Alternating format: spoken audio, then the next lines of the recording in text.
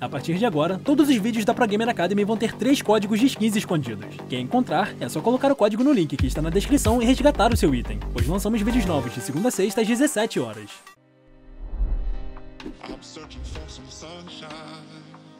Tá morrendo igual bobo na arena? Joga, joga, joga e continua cometendo os mesmos erros e sempre volta pro lobby mais cedo? Relaxe que você está no vídeo certo. Tudo o que você precisa saber para parar de ser um noob na arena vai estar nesse vídeo. Desde a primeira até a última dica. Então pegue uma água, um suco e fica aí até o final que o vídeo nem tá tão grande e vai te ajudar demais, eu tenho certeza. Antes de irmos direto para as dicas, se inscreve no canal aí e deixa o seu like pra gente. E claro, se quer assistir os vídeos com dicas assim que lançarem, ative o sininho das notificações para sempre ser notificado dos vídeos. Ah, e aproveita para checar se ainda está apoiando a gente na loja de itens do Fortnite com o código PROTAGAMES. Essa ajuda de vocês nos ajuda a manter o conteúdo gratuito aqui no YouTube. E claro, trazer aqueles convidados para aulas exclusivas aqui para vocês. Então só tem vantagem. Mas é isso, bora pras dicas.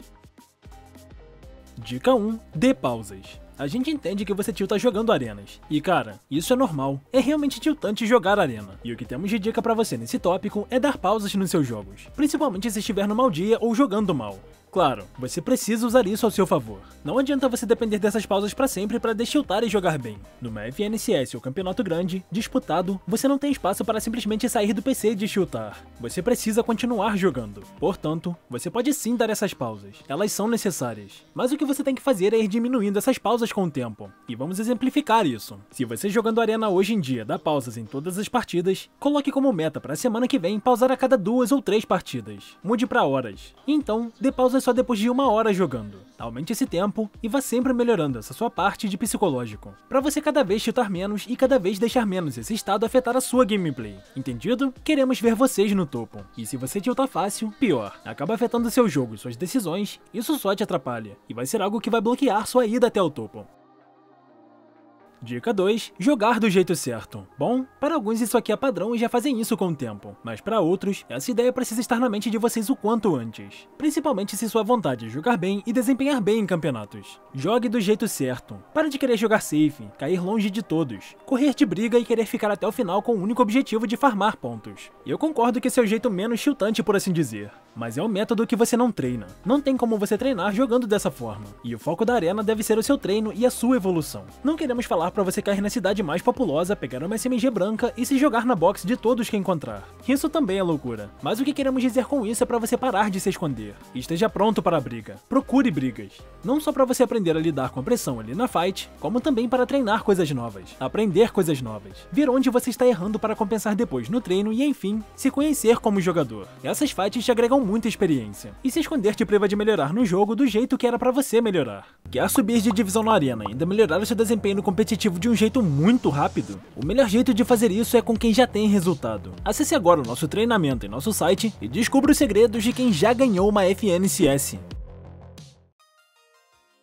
Dica 3: Rever suas jogadas. Com essa famosa moda de clipadas para highlights, clipar suas jogadas com Piece Control e um 200 no final, você já deve ter algum programa que você usa para clipar suas jogadas, ou se não, existe uma ferramenta de replay para te auxiliar nisso. No caso de quem consegue clipar, sempre clipe suas jogadas, se possível, desde o começo da fight até o fim dela. E você que não tem, se esforce ao máximo para ligar, mesmo que perca alguns FPS nisso. E estamos falando para você fazer isso por um simples motivo. Se você quer evoluir duas vezes mais rápido no Fortnite, esse é o segredo. Rever você mesmo jogando. Se vendo jogar, você percebe erros que parecem até grotescos. Aqueles erros que você olha e fala, como que eu tô errando isso aqui? E isso é normal, não precisa se preocupar não. E o bom de saber disso é que nunca mais vai se repetir. E óbvio, além dessa parte de ver erros bobos que você anda cometendo, você consegue moldar muito bem a sua rotina de treinos, sabendo onde você está errando mais e onde está errando menos, para compensar nos treinos.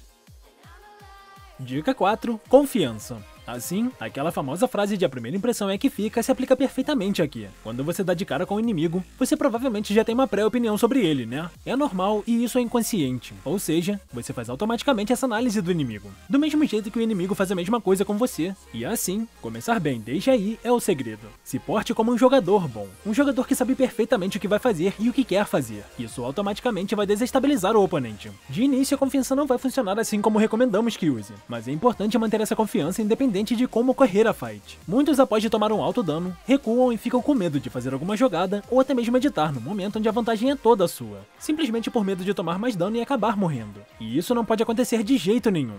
Você precisa devolver o dano. E na arena é onde você deve não só treinar isso, como o fato de devolver o dano. Para de perder a confiança no meio da fight, ou pior, já começar a fight sem confiança nenhuma. Esse é um ponto chave se você quiser jogar bem. E isso não se limita só à arena, meu mano. Se você quer jogar bem mesmo, campeonato, X1, arena, modo casual, esconde-esconde no criativo, ou seja, qualquer modo, você precisa trabalhar essa sua confiança. E comece trabalhando já nas suas arenas. Dica 5. Rotina feita com base nas suas arenas. E óbvio, não podia faltar, né? Sim, uma rotina de treinos. Como dissemos na dica 3 de rever as suas jogadas, você com isso consegue ver muitos erros bobos enquanto joga, e o principal para esse tópico aqui, você consegue ver onde está errando mais para repor nos treinos. Você vê se seus erros estão acontecendo na hora de editar, na hora de finalizar a fight, no piece control que sai torto, se é a sua mira que não tá colaborando e enfim, você vê seus pontos fortes e fracos. Tá, pro gamer, vi aqui os meus replays e vi onde estou errando. O que eu faço agora? E é agora que entra essa dica aqui.